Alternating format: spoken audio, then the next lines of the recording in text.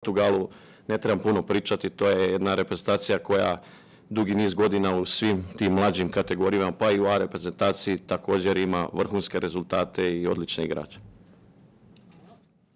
Pitanja?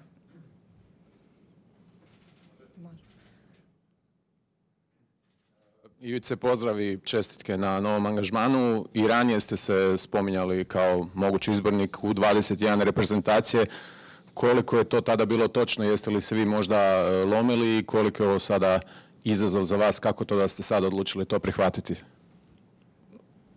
Pa nije, možda se ranije više u medijima spominjalo, ali kod mene osobno je to do ovoga posljednjeg eura koje smo igrali, ajmo reći ta tema e, nekako sazrijevala i kad se ukazala prilika, kad sam pričao sa gospodinom predsjednikom Kustićem, sa Dalićem, ja sam e, rekao da bi želio taj izazov prihvatiti i opet kažem, imao sam punu punu podršku i od predsjednika i od izbornika, tako da evo, e, da radujem se da sam ostao u sustavu, da sam tu u reprezentativnom sustavu, ok, možda više nećemo biti svaki dan zajedno, ali i dalje će biti komunikacija jer ipak e, u 21 reprezentacija je samo jednu stepenicu ispod A i što više igrača bude jednog dana zaigralo za reprezentaciju, svi mi bit ćemo jako sretni.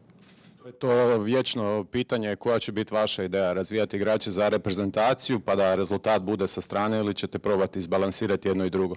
Upravo tako. Naravno da, je, da ću se radovati svakom igraču koji dođe u A, jer znam koliko smo mi, kad smo vidjeli nekog mladog igrača koji je prvi puta došao, uh, bili sretni da smo dobili takvog igrača, ali rezultat naravno da je bitan. I kad igram sa prijateljima, danas želim pobijediti tako da pobjednički mentalitet, da bi ti igrači došli jednog dana gore mora biti već ne od u 21, mora daleko prije biti.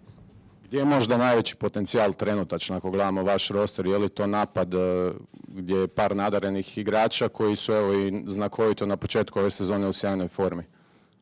Pa jeste, ova generacija usudio bi se reći da ima možda kvalitetu više u tom ofenzivnom dijelu i da je tu mene kao izbornika možda više stvar luksuza prije svega ko će igrati, a isto tako mislim da imamo dosta deficita na tim bočnim pozicijama nazad i da je tu zapravo ne samo u 21 reprezentaciji, nego i ovi reprezentacija ispod nekakav, ajmo reći, nedostatak tih potencijalnih kvalitetnih igrača koji bi u budućnosti mogli biti i u 21 i u A reprezentaciji, ali ja sam jako zadovoljan s ovim što imam. To su dobri dečki, igraju u svojim klubovima i evo, nadam se da ćemo u ovom kratkom vremenu što prije da se upoznamo i napraviti dobre stvari.